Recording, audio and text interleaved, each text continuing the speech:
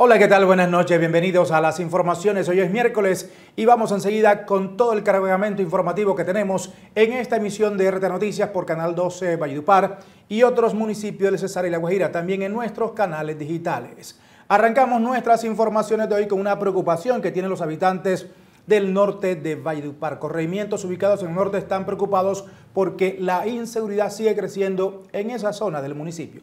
Bienvenidos a nuestras informaciones. Ante RTA Noticias, habitantes del corregimiento de Las Raíces, jurisdicción del municipio de Valledupar, denunciaron la ola de inseguridad que los tiene azotados.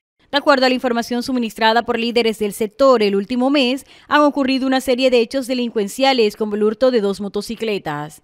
Asimismo, la comunidad indica que en los últimos días el abigeato ha afectado a los pequeños ganaderos de la población rural. En menos de un mes, cuatro bovinos han sido descuartizados. Hace poco a un ganadero le robaron una vaca que era con la que podía tener su sustento diario para su familia. Ahora quedó con las manos abajo, señaló el líder. Según los moradores, la tranquilidad que tenía el pueblo se ha acabado debido a este flagelo. Aseguran que ahora no pueden salir porque tienen miedo que les quiten sus pertenencias. Por lo anterior, piden a la Administración Municipal y a la Policía Nacional que se implementen estrategias para prevenir estas acciones delincuenciales. Estamos haciendo la reunión constantemente con nuestros ganaderos para que se tomen unas medidas de seguridad.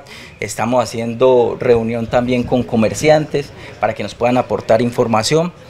Eh, es un fenómeno que, viene afectando, pero que también lo estamos trabajando. Si más adelante vamos a tener también resultados con respecto a este tipo de, de delito. Los habitantes de esta población ubicada en el norte de Valledupar piden que se les garantice seguridad y tranquilidad.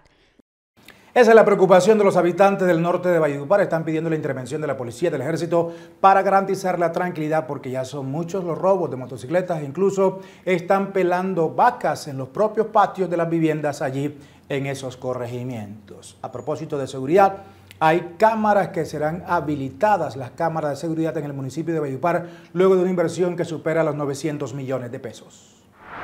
Mantenimiento preventivo y correctivo se encuentra realizando la Administración Municipal a las cámaras de seguridad que se encuentran distribuidas en diferentes puntos de la capital del Cesar. En 185 puntos estratégicos de la capital del Cesar estarán los equipos electrónicos que serán monitoreados en tiempo real desde el Comando de Policía Cesar.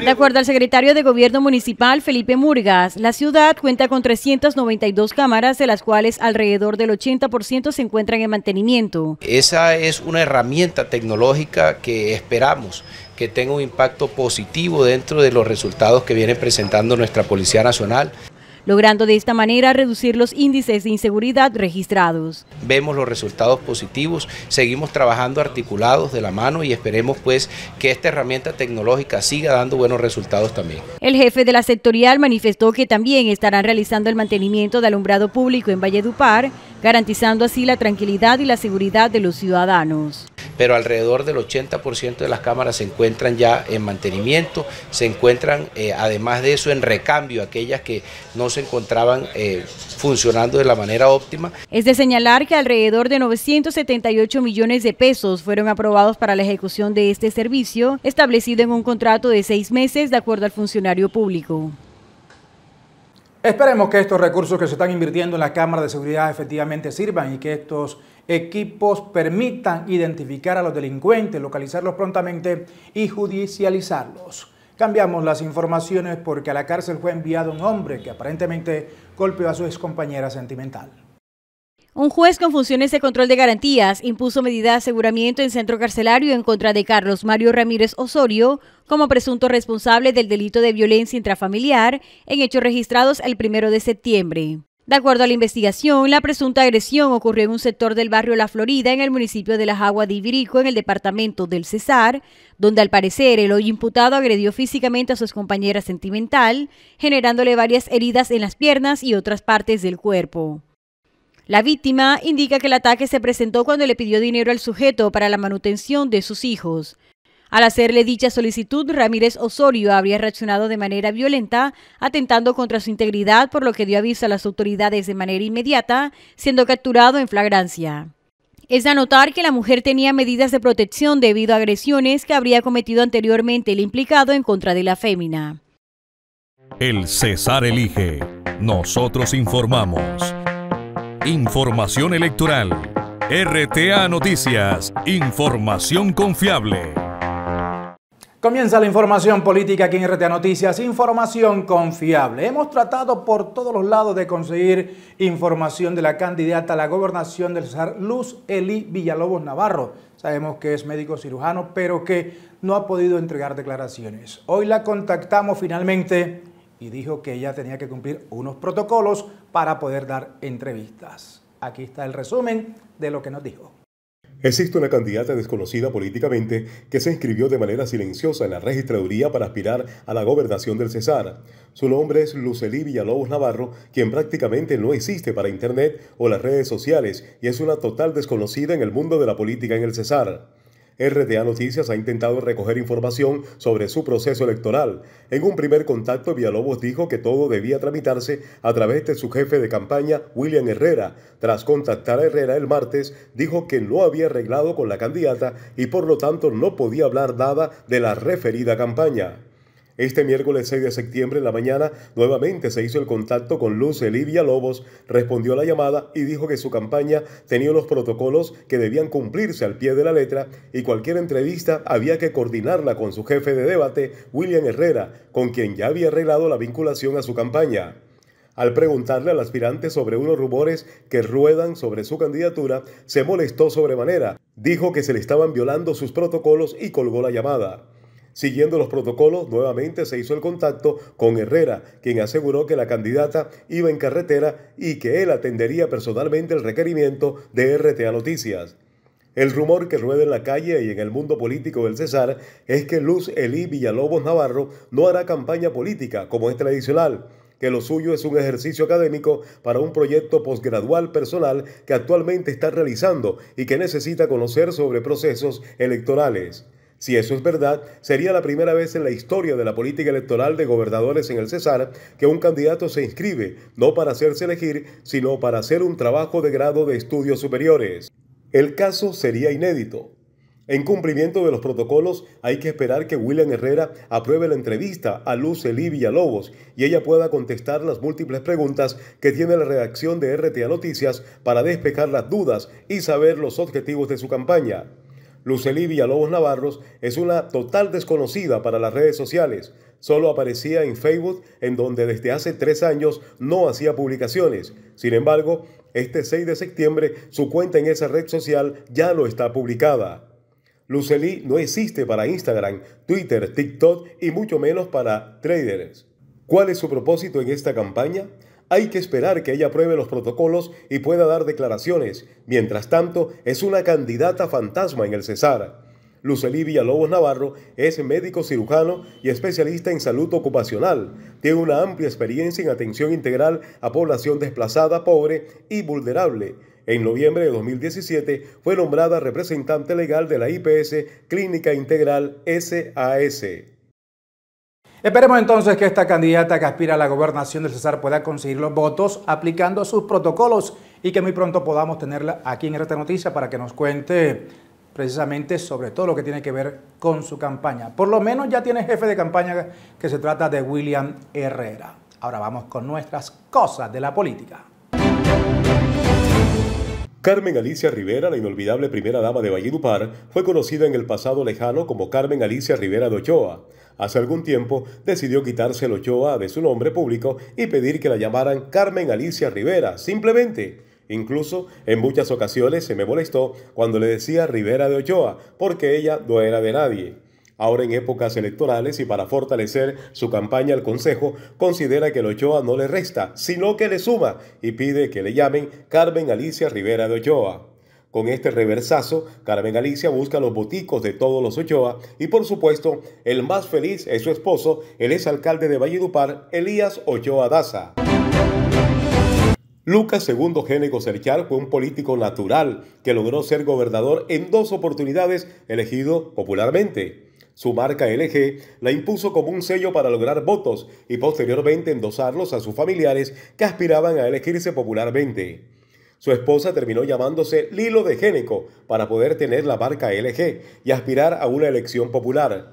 Posteriormente, su hijo José Alfredo Génico no tuvo que cambiarse el nombre, pero sus primeras campañas las hizo como el hijo de Luquita o el hijo de LG. Ahora, por segunda ocasión, otro hijo de Lucas II busca llegar al Consejo de Valledupar utilizando el emblemático logotipo LG. Se trata de Lalo Génico, aspirante al Consejo de Valledupar por segunda vez y quien considera que la marca de su padre aún pone votos en Valledupar y en sus vallas publicitarias aparecen la LG bien resaltadas. En el mundo de la política en el Cesar se ve de todo. Muchos aspirantes afirman estar haciendo una campaña austera porque no quieren llegar a despilfarrar las arcas del Estado. Mentiras, no tienen plata porque si tuvieran recursos en abundancia, otro sería el argumento para ganarse las elecciones. Otros están afirmando que embargaron sus cuentas, que no han podido activar la clave de la cuenta que está bloqueada y por eso no tienen plata o que el Consejo Nacional Electoral no les ha autorizado el giro de los recursos. La verdad es que esos argumentos son de candidatos limpios que no tienen ni para una gaseosa y se inventan un mundo de cosas para tratar de ganar unos boticos. Cosas de la política. Seguimos con la información política. Información confiable aquí en RTA Noticias. Elvia Milena San Juan, candidata a la gobernación del Cesar, sigue haciendo sus recorridos. De lunes a jueves está aquí en la capital del Cesar conociendo el pronunciamiento de sus amigos, también saludando a los vecinos de cada uno de los sectores de nuestra capital. Un encuentro con los aspirantes al Consejo de Valledupar de los partidos Conservador y Cambio Radical realizó la candidata a la gobernación del Cesar Elvia Milena San Juan la mañana de este miércoles 6 de septiembre. En este espacio de diálogo, cada uno de los candidatos presentaron la necesidad de trabajar por la capital del Cesar y aunar esfuerzos para crear propuestas que minimicen los flagelos que tanto afectan a la ciudad de los Santos Reyes. Elvia Milena San Juan, en este escenario resaltó la labor que realizan los concejales, afirmando que son actores claves en la gestión del desarrollo de un municipio. Por ello, les entregó a esta camada de candidatos sus propuestas políticas con el fin de que respalden su proyecto, el cual busca el bienestar de todos los cesarenses.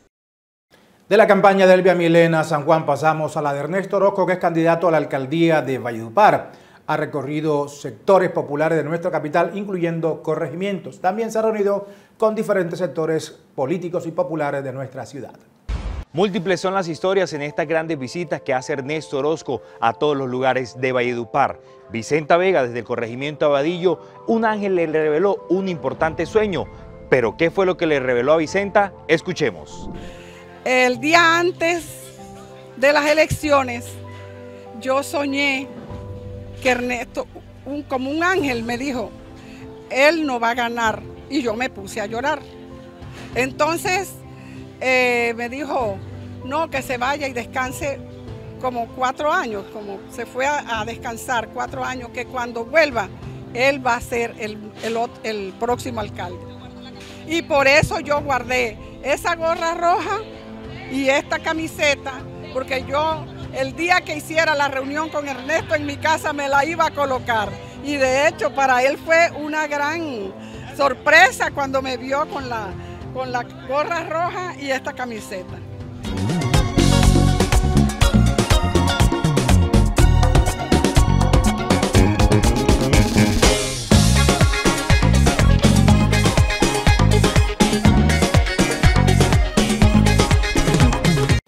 Avanzamos en la información política de RTA Noticias, hablando de Katia Ospino, la aspirante a la gobernación del Cesar, que también está haciendo recorridos y exponiendo sus propuestas políticas en diferentes puntos del Cesar.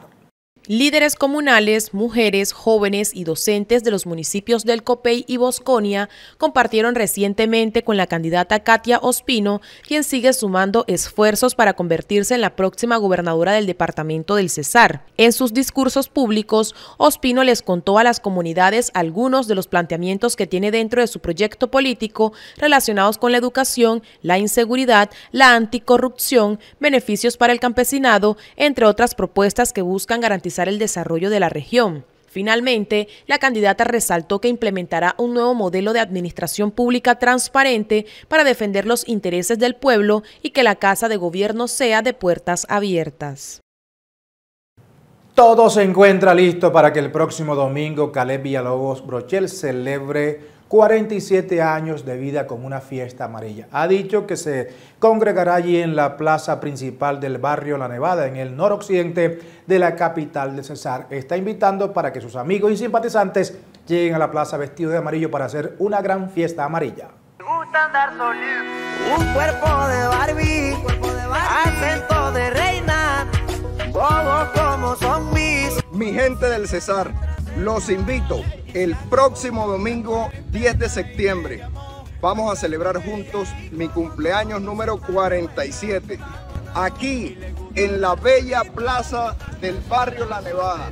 Los invito a que a las 4 en punto de la tarde, vente con tu familia, con tus hermanos, con tus vecinos, con todos tus familiares. Los espero aquí para que celebremos la fiesta de la unidad. Colócate la camisa amarilla, que es el color de la esperanza, la esperanza que le espera a nuestro departamento.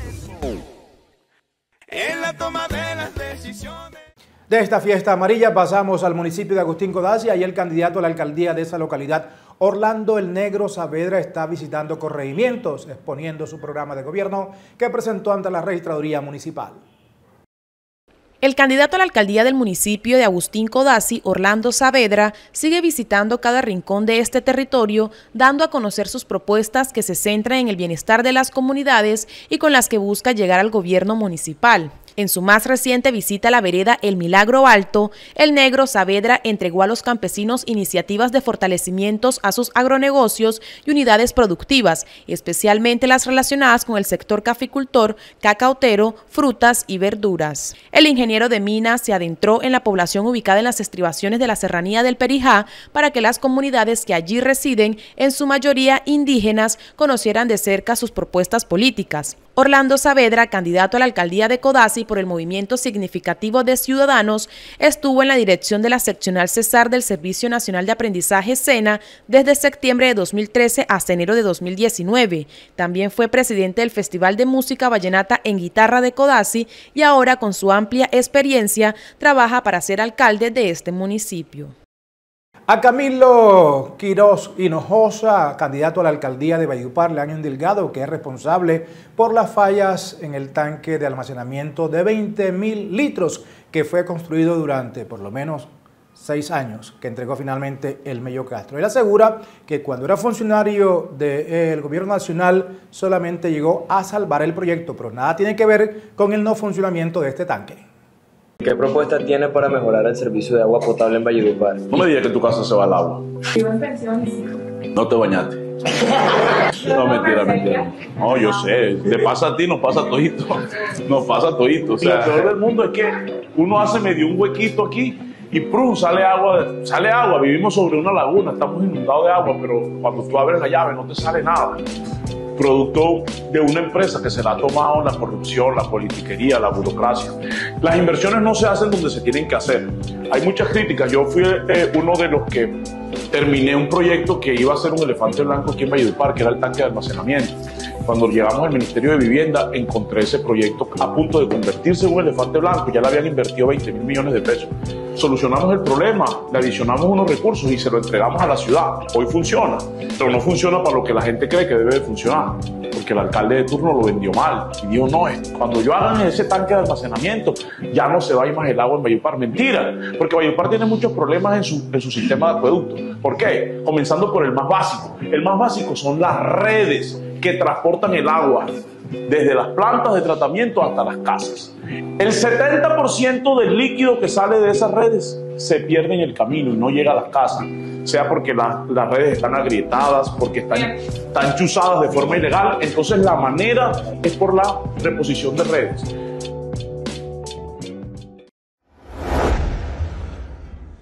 El Partido Conservador Colombiano es uno de los más tradicionales del país. Desde cualquier cargo político se destacan dirigentes por esta colectividad en todo el territorio nacional. Para las próximas elecciones regionales, en Valledupar 19 candidatos buscarán llegar a ocupar una curul en la corporación para el próximo cuatrenio. Ellos son Wilber Hinojosa Borrego, Luis Guillén Polo, Ender Carrillo Marenco, Oscar Morales Vega, Carlos Oñate Correa, Leonardo Mestre Socarrás, Ismael Pérez Rondón, Luis Carvajalino Villarreal, Oswaldo Díaz Ávila, Nolca Cobo Reales, Dianis Larrazaba Polo, Emil C. Gómez Mojica, Janina Fuentes Peñate, Verónica Oviedo Rojas, Harold Tinoco Pimienta, Yolet Fuentes Orcasita, Lesmi Centeno Martínez y Rodrigo Álvarez Yanguas. De la anterior lista de candidatos se destacan los actuales concejales Wilber Hinojosa y Rodrigo Álvarez, quienes han desempeñado en el cargo desde el 2020 y quieren repetir su posición en el Consejo de Valledupar. En total, 12 hombres y 7 mujeres postularon su nombre por el Partido Conservador para llegar al Consejo de la capital del Cesar. Termina la información política, información confiable aquí en RT Noticias. Amplíe todas estas noticias políticas en nuestra página rtanoticias.com. Es tiempo para hacer una pausa aquí en RT Noticias y de vuelta les vamos a tener toda la información deportiva con Eduardo Iván Retamoso Polo para que nos cuente qué pasa con la Selección Colombia, qué pasa con la Vuelta a España, qué pasa con el Balón de Oro. Los detalles enseguida, después de comerciales.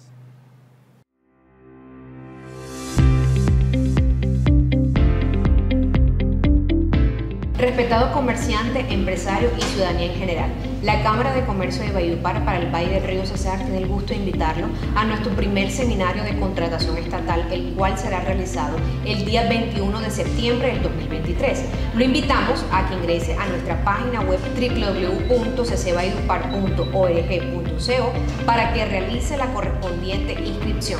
Recuerde, es gratuito y certificado.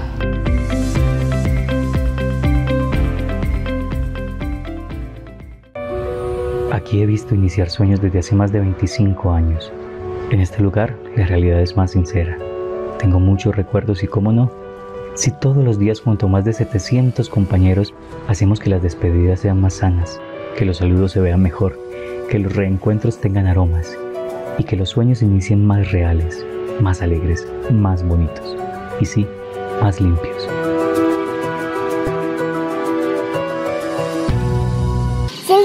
Casa quiere sacar al mosquito de seguir tip no es entrar. Mamás, papás, para prevenir el dengue debemos seguir las siguientes recomendaciones. Lavar y cepillar cada semana con cloro, tanques, lavaderos y albercas. Mantener tapados recipientes de almacenamiento de agua. Cambiar cada tres días el agua de los floreros y bebederos de animales. No almacenar elementos que sirvan de criadero como latas, llantas o envases. Mantener los desechos del hogar en canetas con tapa. No dejar las basuras en intemperie. Utilizar ropa con mangas y pantalón largo para cubrir las extremidades.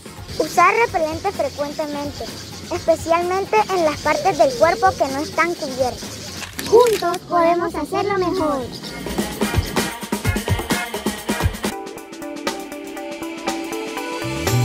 La Clínica del Cesar se complace en ofrecer sus nuevas instalaciones para medicina prepagada y planes de atención complementaria, cumpliendo todos los estándares de calidad y salubridad. Clínica del Cesar tiene todas las especialidades médicas y un recurso humano altamente calificado para que su salud esté garantizada. Clínica del Cesar S.A., líder en atención, calidad y servicio. Río Luna, proyecto inmobiliario ubicado en el norte de la ciudad, cerca de las zonas más turísticas, atractivas e icónicas de Valledupar. Comenzó la venta de la Torre 1 con áreas de hasta 140 metros cuadrados. Amplios apartamentos de tres alcobas, sala comedor, balcón estudio, cocina en ambiente abierto, alcoba y baño de servicio. Río Luna, proyecto inmobiliario. Clínica Erasmo, somos pioneros en servicio especializado en traumatología integral en toda la región. Asistencia con la más alta tecnología.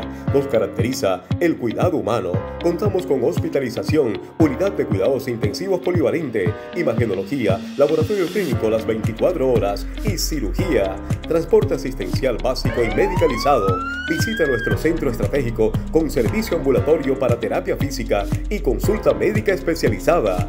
Clínica Erasmo, cada paciente es diferente. Nuestra clínica también. Si no pudiste aprovechar nuestras ofertas en Fruver, te cuento. Extendimos nuestras promociones de días verdes. Y en agosto todos los días son días verdes, con descuentos de hasta el 20% en muchas referencias de frutas y verduras. Recuerda, en mi futuro y Don Campo todos los días son días verdes.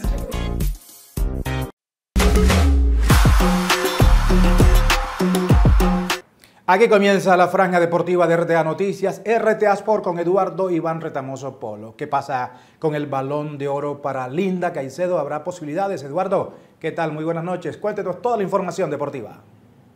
Ubaldo, un saludo cordial a usted, a todos nuestros televidentes. Esto es RTA Sport. Comenzamos hablando de grandes noticias y tiene que ver con Linda Caicedo, porque la colombiana no para de darle alegrías a la nación de nuestro país. Este miércoles se conoció que la jugadora del Real Madrid fue nominada al Balón de Oro, galardón que se le da a la mejor jugadora del mundo según revista Fran Football. La nacida en Cali, Valle del Cauca, es la única sudamericana que aspira a este reconocimiento que determinará a la ganadora en una ceremonia que se llevará a cabo el próximo 30 de octubre en París, Francia. De esta manera se suma a un selecto grupo de futbolistas eh, colombianos que han sido nominados al Balón de Oro. Antes de ella ya la habían hecho Faustino Asprilla, Falcao García, Jaime Rodríguez y Luis Díaz. Este último, el más reciente hasta ahora. Los criterios de la elección de esta eh, pues, elección, las actualizaciones individuales y el carácter decisivo e impresionan, impresiones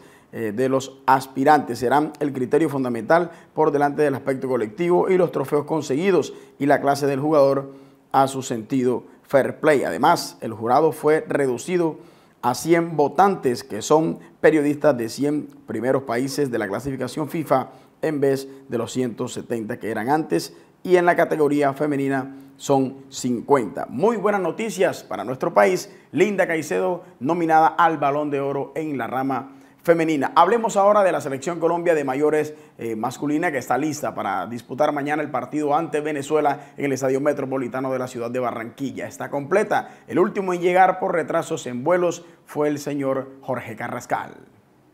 Néstor Lorenzo tendrá este miércoles 6 de septiembre la última práctica para decidir el onceno inicialista para el partido del jueves 7 de septiembre ante la selección de Venezuela por la fecha 1 de la eliminatoria rumbo a la Copa Mundial de la FIFA 2026. Jorge Carrascal ha sido la novedad más importante en las últimas horas.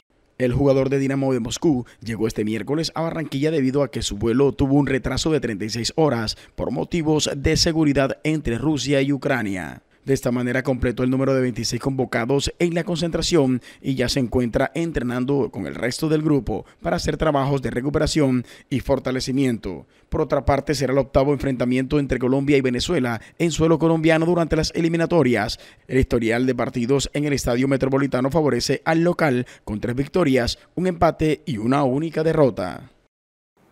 El jugador más cotizado y en la actualidad mejor momento futbolístico en la selección se llama Luis Fernando Díaz Marulanda. El Guajiro vale más que la nómina completa de la selección de Venezuela. El jugador más valorado y con mejor presente futbolístico internacional en la selección Colombia es el Guajiro Luis Díaz Marulanda no en vano para el portal Transfer Markets, portal especializado en fichajes, anunció que el jugador nacido en Barrancas, La Guajira, tiene un valor en el mercado de 75 millones de euros, superando ampliamente a Luis Sinisterra que vale 22 millones de euros y Jefferson Lerma que vale 20 millones. Quienes lo siguen en el listado son Wilmar Barrios con 18 y Davinson Sánchez con 15 millones de euros. En cuanto a la comparación respecto a la selección de Venezuela, Díaz vale más que el total de los 29 jugadores convocados por el entrenador Fernando Batista para los duelos ante Colombia y Paraguay en Maturín. Entre todos suman 42,2 millones de euros, 32,8 millones menos que el atacante colombiano. En el orden de la tricolor, Sinisterra y Lerman suman prácticamente lo mismo que el cuadro venezolano. Precisamente los futbolistas más costosos convocados por Batista son Jefferson Savarino y Jefferson Soteldo, además de Yangel Herrera. Todos están tasados en 5 millones de euros. En el ámbito deportivo, oficiando como local, Colombia suma dos victorias consecutivas sin recibir gol ante Venezuela en eliminatorias y su última derrota se remonta el 15 de noviembre del año 2003. Se ha corrido una nueva etapa en la vuelta a España. Los colombianos siguen lejos del top 10. Tras la contrarreloj desde martes en la Vuelta a España vivió una nueva etapa de montaña con la disputa de la etapa 11 entre Lerma y la Laguna Negra. Los 163 kilómetros de recorrido terminaron con un fuerte ascenso tras el paso por el premio al Sprints en Vinuesa. En esta oportunidad, los colombianos se mantuvieron en el pelotón principal, el cual quedó a distancia considerable del grupo de fuga. En este último, el Ineos, donde corre Egan Bernal, tuvo en Geraint Thomas dispuesto a recortar tiempo en la general ante la diferencia que le tomaron los grandes favoritos como Primoz Roglic y Renko Benepol. El triunfo en este miércoles fue para el español Jesús Herrada, en una jornada donde el ecuatoriano Jonathan Caicedo estuvo peleando por el triunfo. La clasificación general no registró mayores variaciones, por lo que Seb Kuz mantiene la camiseta roja de líder en la clasificación general, un día más previo a la etapa 12, por la cual tendrá un final en el sprint en Zaragoza. El mejor colombiano en la clasificación es Santiago Buitrago, que está a 6 minutos y 37 segundos del líder.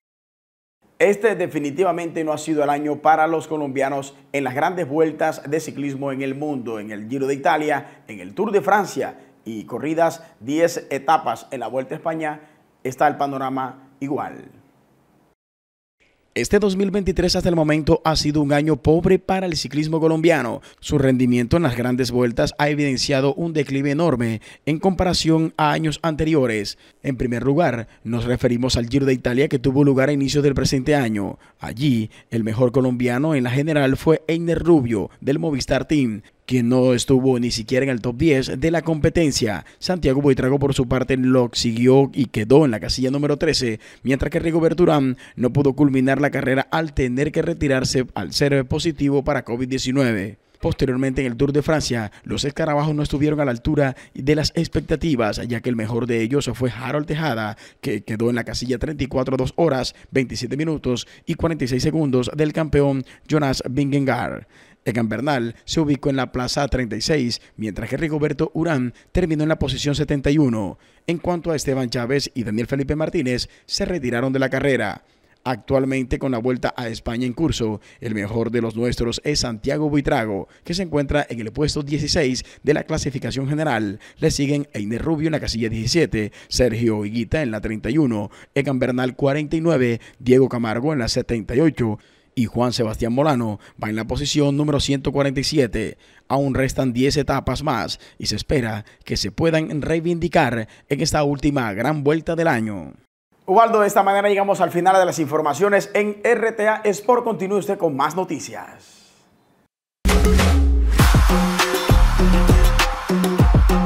El comandante de la policía en el departamento del Cesar se ha pronunciado sobre capturas realizadas en diferentes momentos en este departamento. Importantes resultados logró la Policía Nacional en los últimos días. Un total de 64 capturas por diferentes delitos fueron los que se realizaron en el departamento del Cesar. Tuvimos también la captura de dos personas por fabricación, tráfico, porte de arma de fuego, municiones. Tuvimos también tres capturas por hurto de equipos móviles celulares y también el caso presentado por la seccional de tránsito y transporte sobre la captura de dos personas que se movilizaban en motocicletas con 50 kilos de marihuana en dos bultos. Dentro de las capturas, personal de la SIJIN en conjunto con Migración Colombia lograron la detención con fines de extradición de Ángel Luis Peralta Colón de República Dominicana, quien era requerido con circular roja de la Organización Internacional de la Policía Criminal.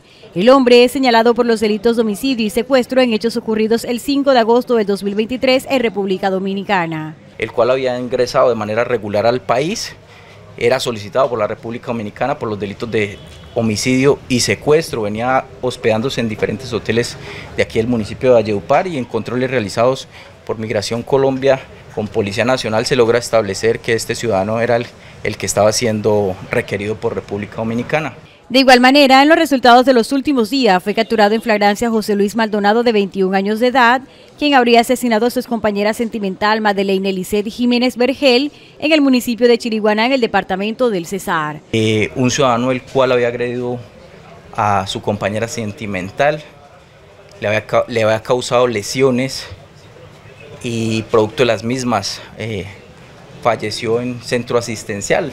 La Policía Nacional lo capturó y también lo puso a disposición. De acuerdo al coronel Eduardo Chamorro Pinzón, estos resultados se han podido obtener en el marco del Plan Choque 360, que busca reducir en gran medida los hechos delictivos en el departamento. Ya se enteraron del susto que pasó Ana del Castillo, la cantante de música vallenata conocida como La Bomba Sexy. Bueno, luego de comerciales les cuento detalles. Señora N, ¿qué me recomienda para la caída del cabello, para las uñas, débiles, para la piel? Bueno, querida amiga, aquí en la tienda naturista donde Jaime tenemos este producto que es colágeno hidrolizado, eh, con 10.000 miligramos de colágeno hidrolizado por porción. Le sirve para uñas, piel y cabello, pero también le ayuda en las articulaciones y los huesos. Es un producto completamente natural. Se toma una porción diaria de colágeno hidrolizado y usted rejuvenece y queda más bella de lo que está.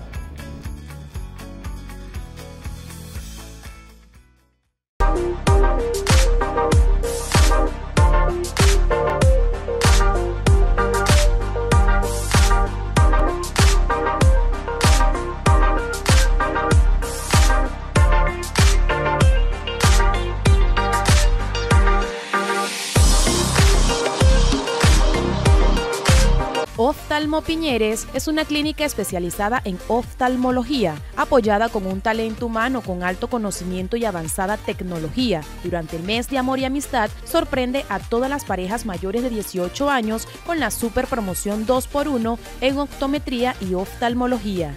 15% de descuento en lentes y monturas. Reserva tu cita al call center 605-589-4044. Oftalmo Piñeres, Clínica Oftalmológica Retina y Vitrio. El Instituto Cardiovascular del Cesar nació en el corazón de Valledupar para salvar vidas en la región. Somos el Instituto Cardiovascular del Cesar. Juntos por el corazón del valle.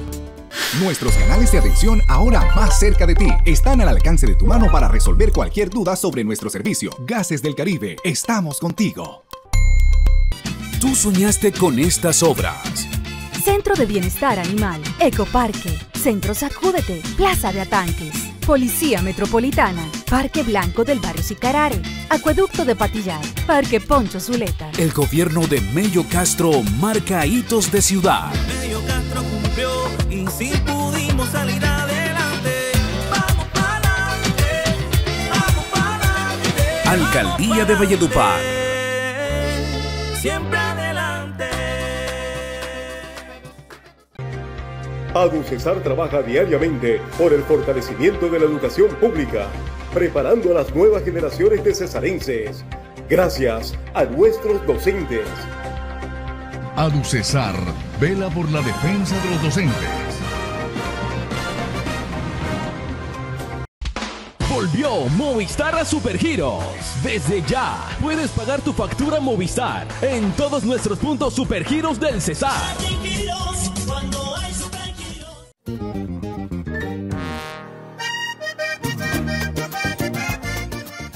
¿Qué se les viene a la mente cuando les decimos Matildelina? Media Luna, los Tocaimeros, el río Tocaimo. La herencia del más grande permanece con nosotros. Por eso la Cámara de Comercio de Valledupar se une al homenaje y celebración de los 40 años de vida artística de Ivo Díaz, el gran legado de Leandro Díaz. Acompáñennos en esta historia.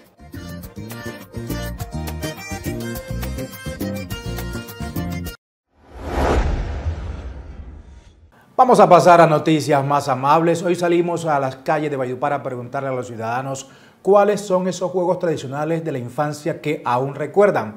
Esto contestaron. Los juegos tradicionales se han ido transmitiendo de generación en generación, algunos conservando su esencia, otros adaptándose a los diferentes cambios y a las nuevas tendencias. Estos juegos propios de la cultura marcaron la infancia de muchos, que señalan como una época mágica, única y memorable. Con la finalidad de evocar esos recuerdos, salimos a las calles de la capital vallenata para preguntarle a los ciudadanos cuáles fueron esos juegos tradicionales que marcaron su infancia. La peregrina, que lo jugábamos con toda mis hermanas, unas primas, nos reuníamos y eso era todo el día jugando la peregrina, todo el día. Hija, en Santana Magdalena jugábamos muchos juegos, la, eh, la penca escondida, jugábamos libertad, jugábamos eh, cacho, jugábamos este, aviones, uno se montaba sobre el otro en la orilla del río que yo me crié, todavía había más juegos, ya, quien marcara, quien se tiraba más lejos, ya, eso en Santana. Los juegos que habían antes eran una vaina que hoy los niños de hoy no saben, ah, no jugaban trompo, no jugaban papagayo, no jugaban run run, no jugaban, los de hoy no, jue- no saben qué es eso. Ah, jugaba con las muñecas y jugaba este, a, esa, brincando cuerda y eso. Y me gustaba correr, me gusta correr, me gusta bailar, cantar y fútbol de eso. Jugábamos a, a trompo, al boliche, a- volábamos cometas, jugábamos a la, a la lleva, al escondido, todo eso, con los pelados del barrio. No, pues la mejor de la vida de uno, creo yo. Hasta el momento, pues lo mejor que uno le ha pasado en la vida. El que más me gustaba se llamaba La Libertad. 4, 8 y 12 le decían también. Jugaba con todos los vecinitos de mi cuadra en una calle destapada de mucha arena, mucha felicidad, mucha alegría. Recuerdo con nostalgia y con alegría esos tiempos. Ahí jugábamos la peregrina, el escondido, el chivito, eh, ¿cuál otro? Muñeca, con chocoritos, como le dice uno, que son el platico, la ollita, la cuestión. Hacíamos comidita de verdad, verdad, con los hermanos, los primos, los familiares del barrio, vecinitos, con todos. Éramos ya de pronto ya unas niñas de 11, 12 años y jugábamos con niños de pronto de un poquito más edad y no había respeto. Éramos sanos. Era, una, una, era un ambiente sano.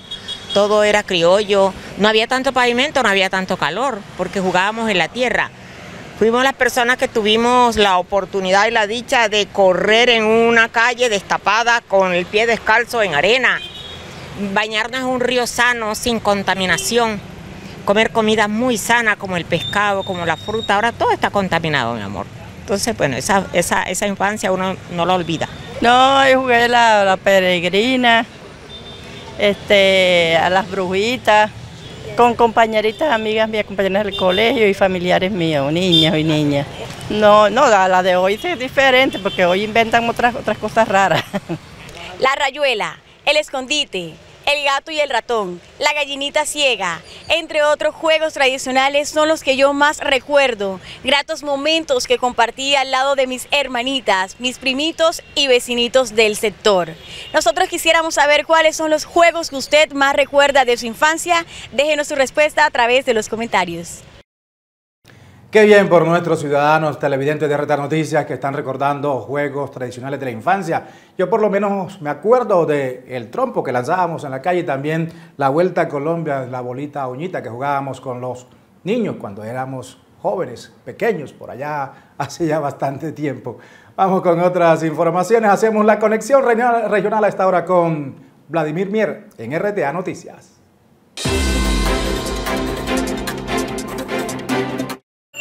Buenas noches a todos los televidentes de RTA Noticias. Pues los habitantes del barrio Palmira, aquí en el municipio de Tamalambeque, optaron por, poner- por ponerle una cadena a la alcaldía, otro al Consejo Municipal y a la Casa de la Cultura. Pues según lo que dicen los habitantes de este barrio, es que haya sido una pavimentación por parte del DPS y esta obra está inconclusa. Pues allí se han registrado varios accidentes y también han dado a conocer que en la época de lluvia, cuando esto crece, pues a veces hay casas que se han inundado. Ahí se ha caído niños, personas adultas y queremos solución. ¿Qué pasó con ese dinero? ¿Qué pasó con esa pavimentación del barrio Palmira?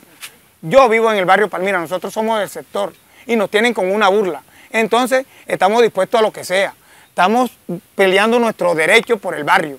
¿Me entiende? Eso es lo que nosotros queremos, que el alcalde nos dé la cara y nos sea honesto y nos diga si va a concluir la obra antes de salir o que se va a quedar eso así para ver qué hacemos nosotros por nuestro barrio. donde manifesté que ya el DPS nos otorga el reinicio y el contratista lo firma también. Falta que la interventoría del DPS Intersocial firme el reinicio y nosotros podamos, paralelamente al, al firmar el reinicio el contratista, la, la interventoría lo firme para que la, la obra arranque con interventoría y contratista al 100 y la podamos terminar. Pues estas personas dieron a conocer que si no hay una solución pronta, pues no se van de aquí de este lugar y tampoco quitan estas cadenas para que los empleados de la alcaldía entren a laborar. Para RTA Noticias, desde el municipio de Tamalameque, les informó Vladimir Mier. Vladimir, muchísimas gracias por su información y ahora vamos con todo el detalle de la información del entretenimiento, las noticias de la farándula. Tremendo el susto que pasó Ana del Castillo en un operativo de la Policía de Tránsito en Barranquilla. Aquí les cuento. Muchos de los artistas reconocidos han sido víctimas de los influencers que llevan por nombre el vacilón del humor. Entre ellos están los cantantes de música vallenata Luis Fercuello y Orlando Liñán. Esta vez el turno fue para la cantante Ana del Castillo. ¿Por qué me maneas? ¿Por qué me maneas? que te hable así? Tú no eres el dueño del carro, yo necesito hablar con la dueña de... Los comediantes vestidos de tránsito le piden que pare en medio de la vía para hacerle revisión de documentos y actúan como si no la conocieran. Le dicen que al parecer es una camioneta robada, a lo que Ana reacciona. Parece la camioneta que amaneció esta mañana robada. ¿Cómo? ¿Cómo? No, no, espérate un momentito porque están con esa actitud, te vienen con una actitud toda rara. Así como Ana del Castillo, también cayó Yuranis León, Mr. Vlad, Jordi, entre otros. Esto ha causado revuelo en las redes sociales y siempre están a la espera de un nuevo video para ver la reacción de los famosos. Ella tiene pinta de todo menos de cantante. ¿Cómo? Yo, yo no, ey, ey, ey, ey, ey, ey, bájate del carro, no, me vayas más. Oye, ¿tú por qué me vas a gritar? Papi, colabórame con la cédula de la muchacha. Ella dice que es cantante. Bueno, Ana del Castillo pasó tremendo susto. Solamente era una broma bastante pesada que le jugaron sus compañeros con el vacilón del humor. Y Masterchef está finalizando y ya se conocen lo que podrían ser los cuatro finalistas. En la temporada del 2023, el reality MasterChef Celebrity cuenta con muchos actores, influencers y humoristas. Ya la competencia se encuentra en la recta final. El periodista de entretenimiento Carlos Ochoa, quien también suele ser llamado la Biblia de la televisión, alerta, picante de spoiler de MasterChef Celebrity Colombia. Me contaron quiénes serían supuestamente los finalistas de este reality, que no le ha ido muy bien en el rating, empezó diciendo. Para esta receta que vamos a hacer hoy, una rica carne asada, necesitamos cuatro ingredientes. Y expresó que se trataba de tres mujeres, Carolina Acevedo, Daniela Tapias y Marinela González. También estaría el humorista Adrián Parada. Carolina Acevedo sería una de las cuatro finalistas. Me encanta. El segundo ingrediente de esta receta serían unos ricos champiñones. La finalista sería Daniela Tapia. El tercer ingrediente, sal rosada del Himalaya. Nela, la traicionera, esta talentosa actriz venezolana. Cuatro y con todo, con todo el picante del mundo. Adrián Parada, de Medellín con amor, papá. Falta aún para que puedan llegar a la final de la competencia, pero los internautas ya comienzan a decir quiénes son sus favoritos y hasta podrían ganar el reality. Con esta información terminamos esta emisión de RTA Noticia. Como siempre, gracias por la sintonía. Recuerden que estamos en todas las plataformas digitales. También búsquenos en Facebook y YouTube como RTA Noticias. Que tengan muy buenas noches y gracias por la sintonía.